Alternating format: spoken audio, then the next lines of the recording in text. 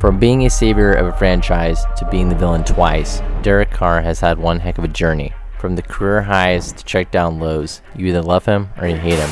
Who's to blame for the fruit of Derek Carr's career?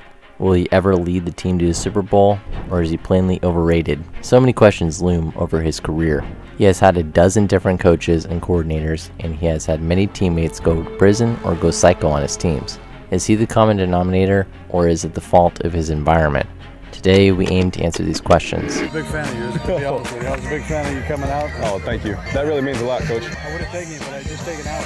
Yeah, oh, yes, sir. Well, I appreciate it. I really do. That means a lot. Imagine if Andy Reid drafted Derek Carr, how different his career would be. We can dive into that further in another video, but the thought of DC having a better environment may change our view of him as a player. Rewinding to 2022, the Las Vegas Raiders were considered one of the biggest threats in the AFC before start of the season. Derek Carr was coming off a strong campaign in 2021, leading his team a 10-7 record in a roller coaster season of dramatic events. In the offseason, they traded for his college teammate and superstar receiver Davante Adams. However, not even in a full season after the duo was reunited, genius Josh McDaniels would bench DC, and it was clear that his time as the face of the Raiders had come to an abrupt end. Did Daniels sabotage Derek Carr, or was Carr the root problem? Now with the Saints, fans in New Orleans are booing him. Have Raiders fans and Saint fans overestimated the quarterback that Derek Carr is? The once promising gunslinger was one of the only bright spots of the Raiders for a long time. He has earned much respect from the players throughout the league, but has also gained enemies. Let's start from the beginning.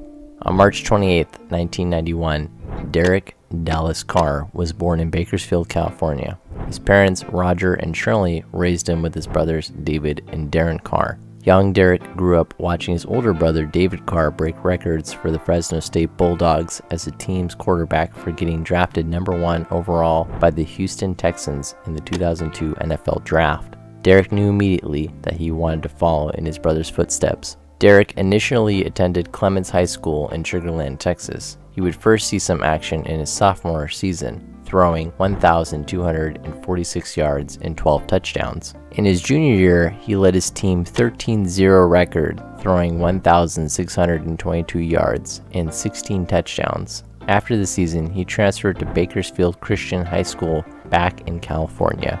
His final high school season, Carr led BC to a 12-1 record, throwing 4,067 yards and 46 touchdowns. Despite his play on the field, he would remain under the radar and be overlooked by scouts around the country. ESPN gave him a scout grade of 78 out of 100, ranking him 30th best quarterback in his class. While he would receive some attention from Boise State, SMU, UCLA, USC, and Utah, he would commit to Fresno State as they were the only one of the three major schools to offer him a scholarship. Carr would once again have to earn his spot on the field at Fresno State, similar to how he did in high school. He only played in 5 games and threw 14 passes in his freshman season.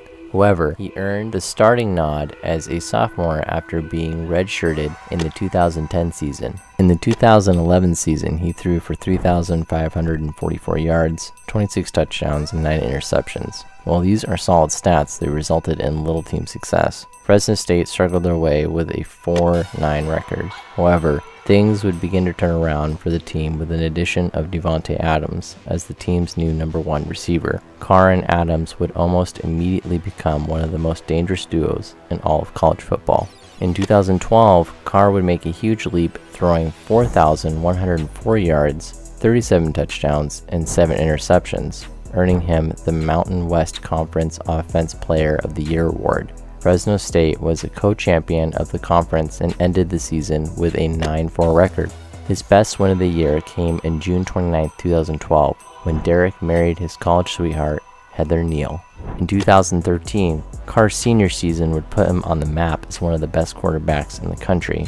He finished his year with an elite 5,083 yards, 50 touchdowns, and 8 interceptions, once again winning the Mountain West Offense Player of the Year award Fresno State would end their season as the Mountain West champions with an impressive 11-2 record. The year wasn't all easy for Carr. He and his wife faced one of the scariest moments of their lives when their newborn son was diagnosed with intestinal malrotation. The doctors said that little Dallas may not make it, but the Carr family kept their trust in the Lord, and through a lot of prayer, God answered, Dallas made it, and the Carr family praised God for the ultimate healing, and the Valley Children's Hospital for caring for their son. Upon entering the draft, scouts were very high on Carr's athleticism, arm talent, and leadership abilities. However, there were some concerns about whether his fame would hold up in the NFL, his tendency to make ill-advised decisions rather than giving up on a play, and if he would still be able to play at a high level against NFL caliber talent. NFL.com ranked him as the third best quarterback in the class in terms of college production, fourth in terms of athleticism, and second overall in his position.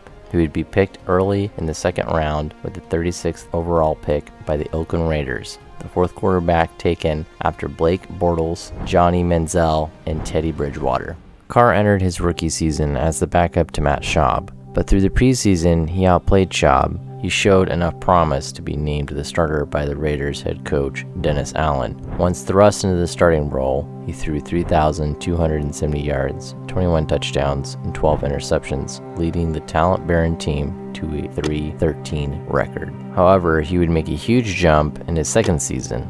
Jack Del Rio was the new head coach for the team, Carr would throw 3,987 yards, 32 touchdowns, 13 interceptions. This would earn him the first appearance in the Pro Bowl while leading the Raiders to a 7 9 record. The 2016 season would arguably be the best of Carr's entire career. Before being injured on Christmas Eve in Week 16, Carr left the Raiders' eventually 33-25 win over the Indianapolis Colts in the fourth quarter after suffering a fibula fracture he was in the talks of being named the league MVP before the injury and was sadly unable to play in the postseason. He greatly improved his efficiency as a passer, throwing only 6 interceptions along with 28 touchdowns. He finished third in MVP voting while leading the team to a 12 3 record. A big factor why Derek Carr lacks winning success is the lack of environmental stability in the front office and coaching staff. The Raiders have notoriously hired and fired coaches for decades, whether self inflicted or not. The volatility has made it hard for players to develop and thrive. Jon Gruden was named the new head coach by Mark Davis in 2018. Another rebuild the team endured while Carr was on the lone constant. It wasn't until 2021 season that he finally got another chance to see the playoffs. In this season, he threw 4,804 yards, 23 touchdowns, and 14 interceptions, setting a career high in passing yards. The Raiders finished the season with a 10-7 record, earning them the second playoff berth with Carr as their starting quarterback. What was more impressive was what Carr and the entire team overcame. The NFL bullied Mark Davis into firing Jon Gruden midway through the season, resulting in Rich Bisaccia taking over as interim coach. They matched up against the eventual AFC West Championship Cincinnati Bengals in the wild card round. However, they'd be sent home in a tight 19-26 loss. Despite the loss in the first round of the postseason, this was still a very promising season for Carr and the Raiders, and things would look even better for all parties in the offseason when a blockbuster trade added Davante Adams to the roster. The duo would pick right up where they left off at Fresno State, and adding Adams would make Las Vegas a true contender in the AFC However, this would be far from the case. While Carr and Adams connected somewhat statistically, more was needed to lead a real team to success. In the 2022 season, the Raiders would struggle to a 6-9 record with Carr as a starter. Carr wasn't playing well in the McDaniels system. He struggled greatly even to the point of crying in a presser after the season was not meeting the expectations that they had hoped. In the week leading up to his benching, he threw only 174 yards, one touchdown, and three interceptions in a 10 13 loss to the Pittsburgh Steelers. His final game in silver and black, it was clear that his time as the Raiders franchise quarterback had ended as Mark Davis was fully committed to the new regime. When speaking about this incredibly tough stretch of his career, Carr said, I was very upset. I was mad. Spend nine years in a place, you have all the records, and you could play at a high level for something to get in the way, whether it was whatever reason, money related or whatever injury related, I would have said, I don't even want the money. I just want to play two more times in front of our fans. I didn't get that opportunity. So I definitely lit a fire inside me to keep going. Once they made my wife cry, it was pretty much over. While Carr's nine years with the Raiders would only result in two trips to the playoffs, it was very tough to blame him for the lack of team success amidst the leadership turnover every other year. He would end his nearly decade long tenure with a team with four Pro Bowl appearances, 35,222 yards, 217 touchdowns, and 99 interceptions. He is statistically one of the best quarterbacks in Raider history and still holds the franchise records for completion percentage, passing yards, and passing touchdowns. However, in the 2023 offseason, it was clear that the relationship between him and the team had completely dissolved and he would be off to a new team.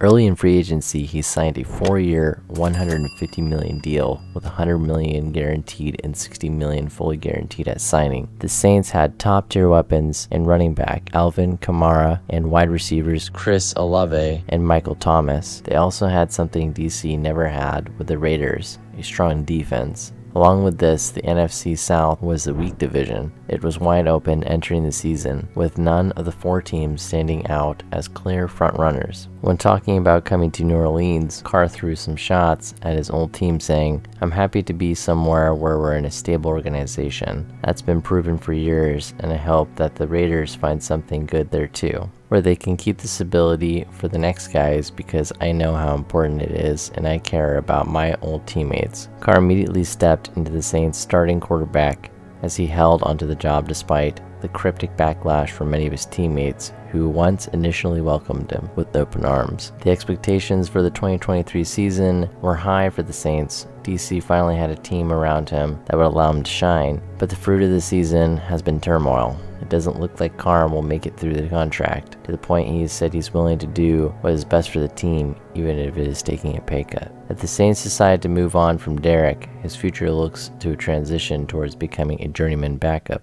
We will never know just how good Derek Carr could have been. If he were to land in a more stable franchise from the start, he may have been the top 5 quarterback, but the providence of God has placed him where he has been throughout his career on the field and has been a roller coaster, but off of it, he has been an incredible dad, husband, and leader of his family, and a genuine teammate to all of his brothers throughout his years in the league. Thank you for watching the halftime show.